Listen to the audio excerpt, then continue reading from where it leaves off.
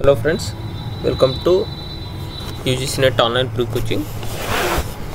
Already I have discussed June 2007 question number 1 to question number 40 in four lecture series. Today I'll discuss question number 41 to 50 in June 2007 okay look at question number 41 in a good software design dash coupling is desirable between the modules. Actually uh, already i have discussed in uh, two questions uh, related to this one coupling and cohesion.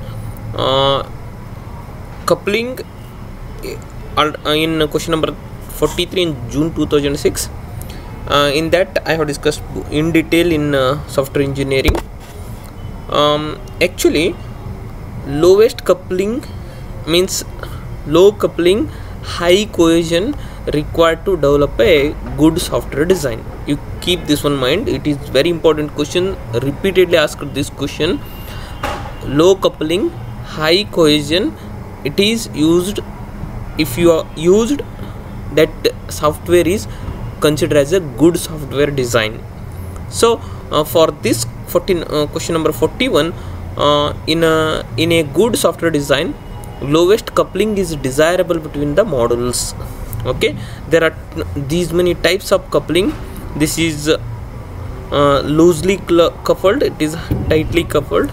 I have explained in detail what is the coupling and cohesion in detail and also uh, and also i explained in question number 43 june 2006 now i hope there is no doubt in this question. It's very important. Please remember low coupling high cohesion require uh, if it is considered then the software is good software design. Okay? Now we'll go for question number 42 difference between flowchart and data flow diagrams. Okay? There is no difference. Usage in high level design and low level design control flow and data flow. Used in application programs and system programs. Okay? Uh, actually flowchart and data flow diagrams both are used to represent um, describe or represent in the form of flow. Okay both uh, in flowchart and as well as data flow diagrams. But uh, to re in what sense we are representing that is uh, there is slight difference. Both data flow and flow charts are used in describing or step by step the path of the process or data both diagrams are used to make it easier to understand the way a process is taking place or data is being processed. Okay? But what is flowchart exactly? Flowchart are used to break down a complex process into simple steps. Means you know what is flowchart and what is data flow. But major difference is here. Flowchart is represent flow of control data flow diagram represent data flow in the system. That is uh, both major difference. But majorly uh, both are used to describe the uh, both are used to description. Means describe the process or um, flow flow data. Okay? So option is c is right answer question number 42 now we'll go for match the following. Uh, this uh, they, uh, they have given some test and uh, in which test they have used in a particular module. Unit test and system test validation test integration test uh, requirements design code system test. In this if you know one answer correctly you can answer easily.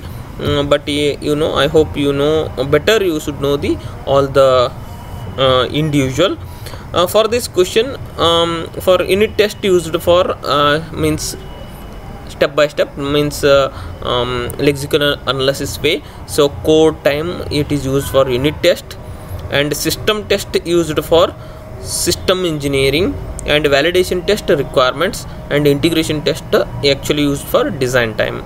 This is i hope you know it's very simple. If you know one answer you can answer but if you know all it's very good uh, but you keep in mind it may maybe ask in a different way uh, same type different question. So be careful. Now we'll go for question number 44 the problems with the water waterfall model are real projects rarely follow this model process. It is often difficult for the customer.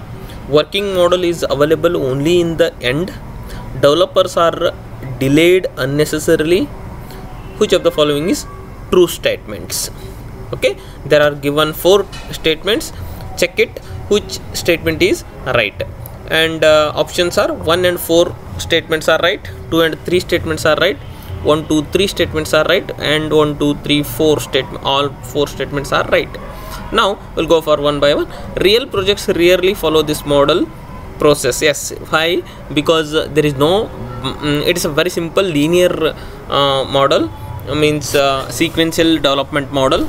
Um, it's very difficult for real project because there is no anyhow uh, we need some backward steps while developing a software but it is not there in a waterfall model. That is one of the problem. And it is often difficult for the customer yes because uh, uh, it is uh, uh, it's as per customer requirement it's as per uh, understanding purpose it's very difficult uh, because it is uh, linearly it is adjusted and simple model. That is one of the drawback. Uh, working model is available only in the end. Yes it is also. Developers are delayed unnecessarily because all uh, all models are independent. Maybe uh, it is happens. So uh, according to me uh, option all are true statements. So option d is right answer. Now we'll go for 45 which of the following is an object oriented approaches? The booch method the Rumbaugh method lond and amdon method all of the above. Actually uh, for this if you know you can answer easily. But anyhow we'll go for uh, in detail in the early days of object oriented technology before mid 1990s there were many different computing methodologies for software development. Means before that there are so many ways. And object oriented modeling often tried to specific computer aided software engineering means case tool vendors.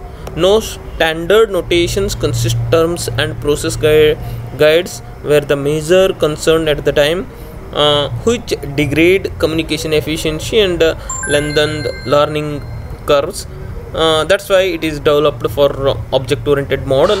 Uh, these are the some important models in uh, uh, in that days. Um, these these uh, grady booch model and Rumbaugh model jacobson and all are these are very famous models for object oriented approaches. So obviously all three are object oriented models. So option is d is right answer. Okay. Now we'll go for question number 46 which technical concept sets cellular apart from all preceding mobile or radio systems? Frequency modulation transmission or duplex functionalities? Frequency reuse? And uh, time division multiple access technology in this which technology concept sets cellular apart from all preceding mobile or radio systems? Definitely it is differentiate in frequency reuse plan because every cell has different frequencies. Every cell uses different frequencies frequencies. So option c is right answer but here uh, explained in detail. Frequency reuse or frequency planning technique for of reusing frequencies and channels within a communication system to improve the capacity and spectral efficiency.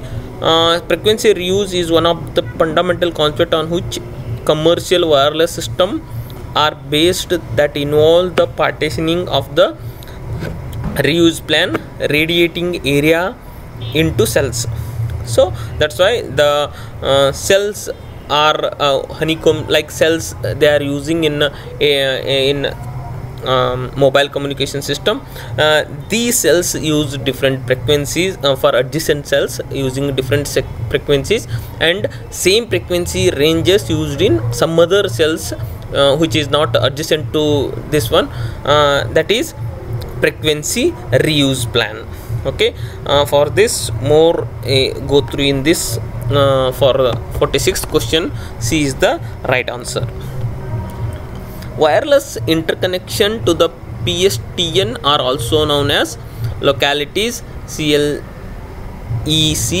pops and ixcs for this uh, uh, actually wireless interconnection to the public switched telephone network are also known as uh, this is option d is right. Uh, i think uh, pop means point to point. Mm, this is c also will get uh, some confusion but uh, i think d is the right answer. Ix is originally carried voice traffic on analog lines but voice traffic has since become largely digitized.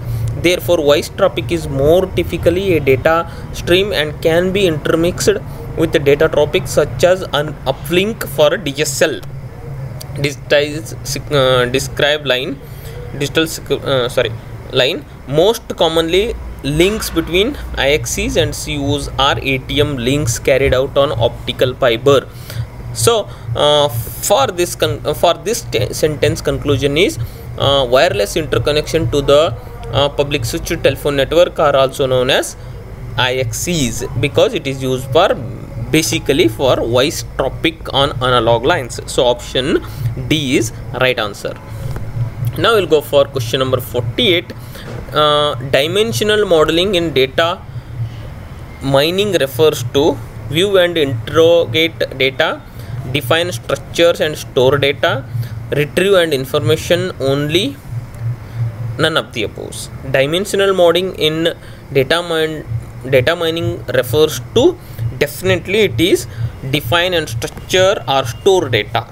Okay? Anyhow i'll explain. In detail dimensional modeling is the process where input data is processed to form information packages which is necessary data structure are created to store the data physically. So option b is right answer. Dimensional modeling in data mining refers to de- define structures and store data this is the option b is right answer.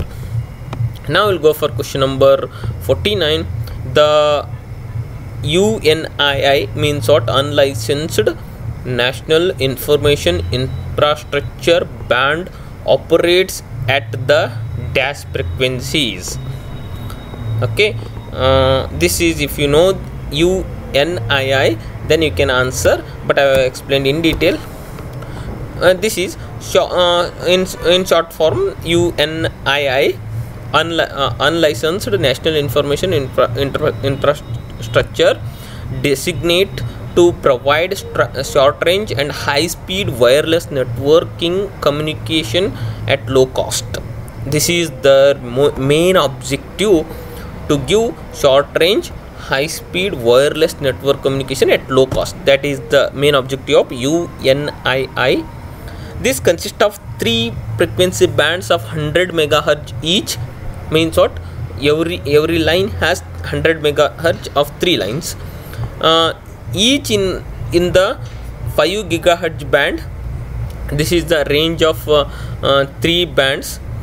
The three frequency bands were set aside by the FCC and in 1997 initially to help schools connect to the internet without the need of hard wiring means wireless. Actually this is main objective of UNII this is uh, used for 5 gigahertz of frequency. So option C is right answer I hope uh, now uh, at least uh, like these questions may ask for a different way please be uh, aware of how, how they are asking what kind of questions rising. Uh, so be careful. Now we'll go for question number 50 which digital radio technology employs on an n equal to 1 frequency reuse plan. n is equal to 1 means what? In all cells has a same frequencies. Initially question number i think 48 or 47 i discussed frequency reuse plan.